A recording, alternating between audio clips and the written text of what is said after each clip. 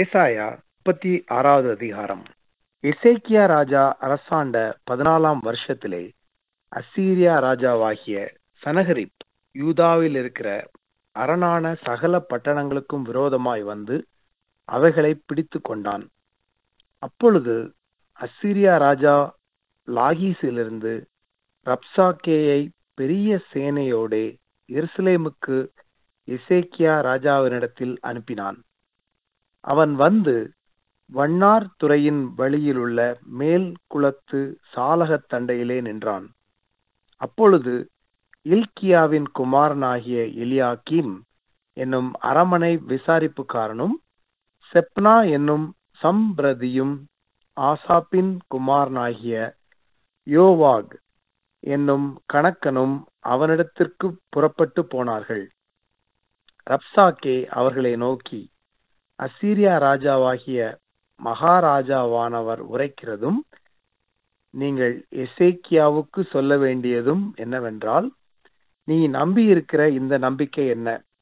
யுத்தத்துக்கு மந்திராலோசனையும் வல்லமையும் உண்டென்று சொல்லுகிறாயே அது வாய்ப்பேச்சே அன்றி வேறல்ல. நீ என்னை விரோதிக்கும்படி யார் மேல் நம்பிக்கை வைத்திருக்கிறாய்? இதோ நெறிந்த நாணல் கோலாகிய அந்த எகிப்தை நம்புகிறாய். அதன் மேல் ஒருவன் சாய்ந்தால் அவன் உள்ளங்கையில் பட்டுரிவிப்போம். எகிப்தின் ராஜாவாகிய பார்வோன் தன்னை நம்புகிற யாவருக்கும் அப்படியே இருப்பான். நீ என்னிடத்தில் நாங்கள் எங்கள் தேவனாகிய கர்த்தரை நம்புகிறோம் என்று சொல்வாயாகில் அவருடைய மேடைகளையும் அவருடைய பலிபீடங்களையும் அல்லவோ எசேக்கியா அகற்றி யூதாவையும் எருசலேமையும் நோக்கி இந்த பலிபீடத்தின் முன் பணியுங்கள் என்றானே. நான் உனக்கு இரண்டாயிரம் குதிரைகளை கொடுப்பேன். நீ அவைகள் மேல் ஏறத்தக்கவர்களை சம்பாதிக்கமானால் அசீரியா ராஜாவாகிய ஆண்டவனோடே சபதம் கூறு. கூறாதே போனால் நீ என் ஆண்டவனுடைய ஊழியக்காரரில் ஒரே ஒரு சிறிய தலைவனுடைய முகத்தை எப்படி திருப்புவாய்? ரதங்களோடு குதிரை வீரரும் வருவார்கள் என்று எகிப்தையா நம்புகிறாய். இப்பொழுதும் கர்த்தருடைய கட்டளை இல்லாமல் இந்த தேசத்தை அழிக்க வந்தேனோ? இந்த தேசத்துக்கு விரோதமாய் போய் அதை அழித்து போடு என்று கர்த்தர் என்னோடே சொன்னாரே என்று சொன்னான். அப்பொழுது இலியாக்கியமும் செப்னாவும் யோவாகும் ரப்சாக்கேயை பார்த்து உம்முடைய அடியாரோடே சீரிய பாஷையிலே பேசும். அது எங்களுக்கு தெரியும். அலங்கத்தில் இருக்கிற ஜனத்தின் செவிகள் கேட்க எங்களோட யூத பாஷையிலே பேச வேண்டாம் என்றார்கள்.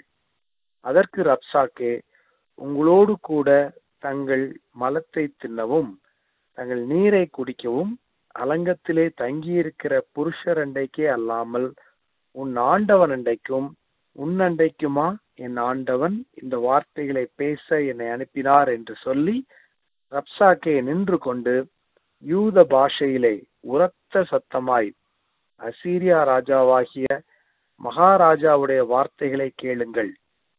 இசேக்கியா உங்களை வஞ்சியாதபடி பாருங்கள். அவன் உங்களை தப்புவிக்க மாட்டான். கர்த்தர் நம்மை நிச்சயமாய் தப்புவிப்பார்.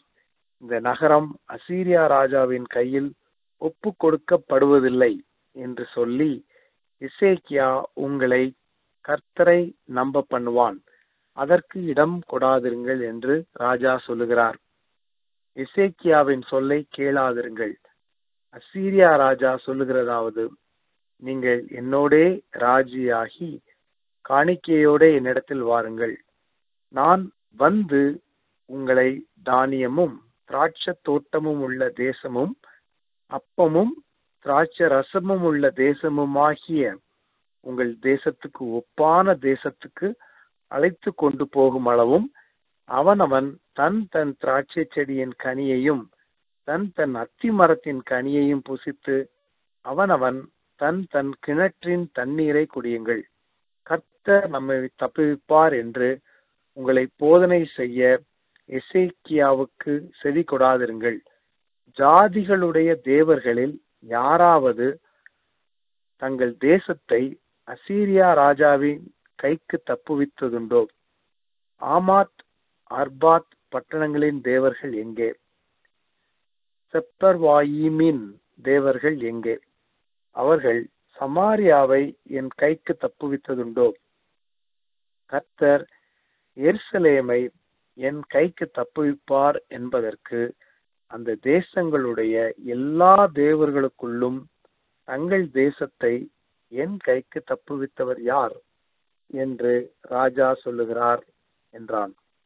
அவர்களோ அவனுக்கு ஒரு வார்த்தையும் பிரதியுத்தரமாக சொல்லாமல் மௌனமாயிருந்தார்கள். அவனுக்கு மறு உத்தரவு சொல்ல வேண்டாம் என்று ராஜா கட்டளையிட்டிருந்தான். அப்பொழுது இல்கியாவின் குமாரனாகிய எலியாக்கீம் என்னும் அரமனை விசாரிப்புக்காரனும் செப்னா என்னும் சம்பிரதியும் ஆசாப்பின் குமாரனாகிய யோவாக் என்னும் கணக்கனும் வஸ்திரங்களை கிழித்து கொண்டு எசேக்கியாவினிடத்தில் வந்து ரப்சாக்கேயின் வார்த்தைகளை அவனுக்கு அறிவித்தார்கள் என்பதே.